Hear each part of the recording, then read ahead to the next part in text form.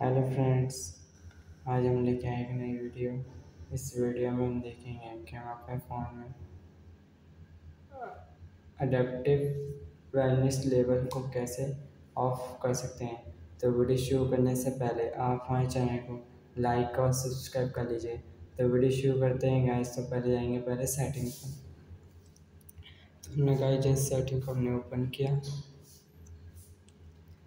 जिसे यहाँ display display को हम ओपन करेंगे इस, जिस लिखा है अडेप्टिव ब्राइटनेस तो इसको कर दिया हमने ऑफ़ तो आप देख गाइस हमारा ये हो चुका है ऑफ़ और हमारी वीडियो यहीं तो होती समाप्त. मिलते हैं नेक्स्ट वीडियो में, और हमारे चैनल को लाइक और सब्सक्राइब कर लीजिए. Thank you